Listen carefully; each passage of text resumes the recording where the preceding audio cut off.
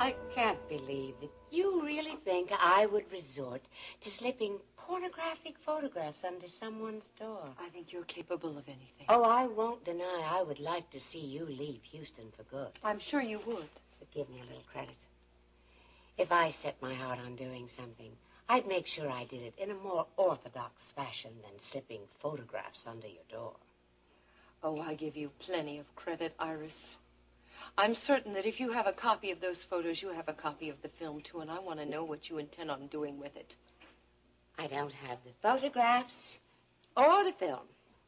I don't make a habit of bringing pornography into my home, and I would appreciate it if you wouldn't come forcing your way in here making accusations like that. I don't know what you're planning, Iris, but I'm not going to let you get away with it. I'm not planning anything, and I don't respond to threats. Now, I suggest you leave before I have you thrown out. Vivian? I'm warning you, Iris. If you're involved in this in any way, Show I... this woman to the door.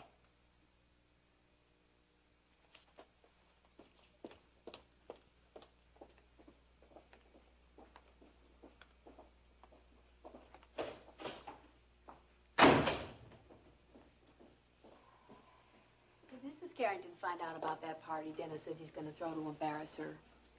Not exactly. And I wish you wouldn't call her Mrs. Carrington. Paige and my son are divorced. That's still her legal name, isn't it? She upset you, didn't she? No, not really. It's Dennis who's upset me and that dreadful party of his. Is there any way to put this party off? How can you even ask that? I just wondered. I thought there was something we could do.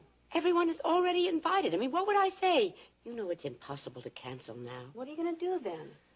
All I can do is try to get my hands on that. That what? Don't you think it's about time you told me the truth about this party, Mrs. Wheeler? Just what is it that Dennis is going to do that's going to embarrass Mrs. Carrington at this party? I can't discuss that with you. Why not? Because you'd be too shocked. Well, I'm going to be at the party, and if you don't get some help in stopping Dennis, we're all going to be shocked.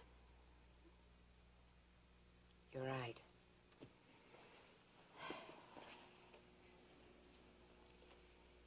You remember all the talk about the pornographic film that Paige made? The one Chris Shaw wanted you to give him a million dollars for? That's right. What about it? Dennis is planning to show that film at the party. We've got to stop him. You're the one who's going to give the party. How do you think you're going to live that down? I know we have to stop him. How? Somehow we have to find that film and put another one in its place.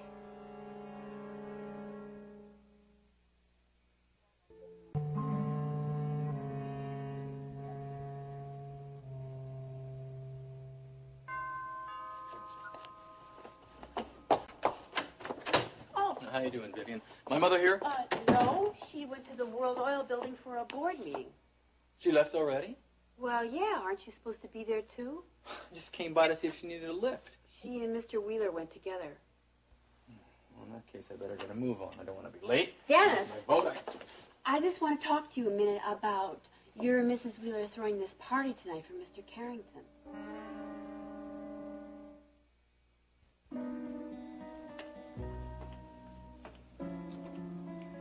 Where's Dennis? Oh, he'll be here soon, I'm sure. Are you sure that you want to go through with this plan of making me chairman of the board of World Oil? You're Alex's brother. Yeah, but doesn't necessarily follow that I become chairman of his company. I think Alex would have wanted it that way. But do you want it that way? I mean, after all, you and Dennis each own a third of the company. That's the controlling stock. I have great faith in you, Grant. You've been handling all my personal finances since Alex died. Well, I appreciate And that. And you've done an excellent job with the banks you own. At the moment, I think you are the person best suited for the job. With the exception of Ryan Connor. He's refused to come back to the company. I think he could still be persuaded to No. come. No, I'm afraid not. Anyway, I think things have worked out fairly well, all things considered. Something's bothering you. I'll be all right. Is it the meeting? No, no.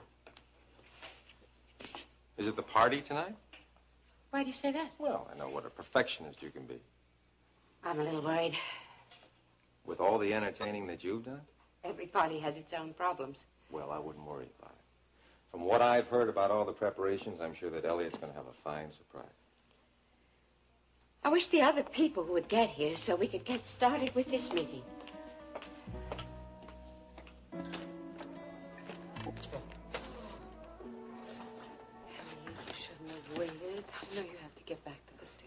Couldn't have gotten any work done knowing the state you were in. Did you see Iris? What did she say? She denied everything, of course. Did you tell her about the publicity stills? She said she knew nothing about them. Elliot, what am I going to do? Well, the first thing you're going to do is try not to be so upset. Someone has a copy of that film. I know it. No, you don't know that. And he's going to use it against me. Paige, don't get yourself worked up like this. Whoever slipped those photos under my door must have a copy of the film, too. It's not necessarily true. Don't forget that Chris Shaw was asking Iris for a million dollars for that film. What does that prove? Well, if there'd been other copies of the film floating around, I don't think his price would have been that high. And Chris Shaw's copy of the film is in the district attorney's possession. But how did he get the stills? I don't know. And why is he slipping it under the door? I can't answer that either. I don't have the answers, Paige. But I'm going to try to get them. How? I'll talk to someone in the film lab at KVIK and see where you could go to reproduce photographs of that kind or a movie. Do you really think that that would help? Well, they deal with all the film labs in Houston. If that doesn't turn up anything, then I'll, I'll think of something else, but we will work it out some way.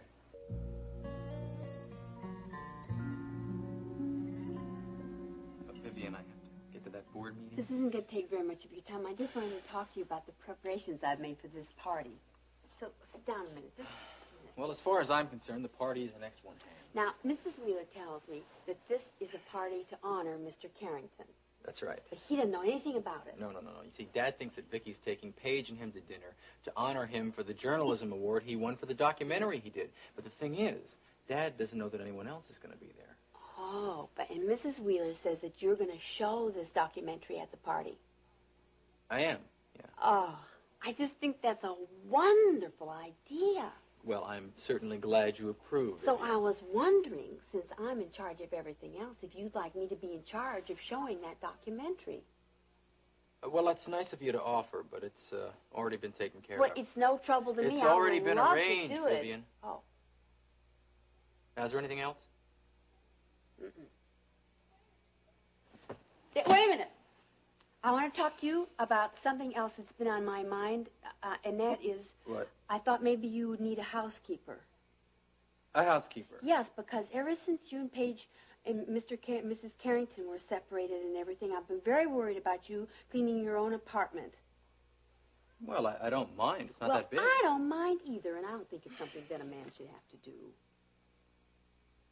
You're not a, a male chauvinist, are you? Well, I don't, I don't know what that means, but I've got some time right now. And what I was thinking, if you gave me the keys to your apartment, I could go right over there and get started on it while you were at that board meeting. Well, that's nice of you to offer, but uh, let me think about it. Right now, I don't think the apartment uh, needs any cleaning. But uh, uh, if Mom calls, look, just tell her that I'll be there as, as soon as I can. All right? Sorry, Mrs. Wheeler, I tried. I really did.